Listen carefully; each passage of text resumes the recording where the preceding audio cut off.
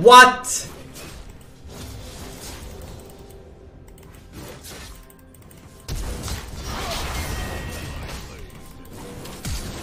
Just in case.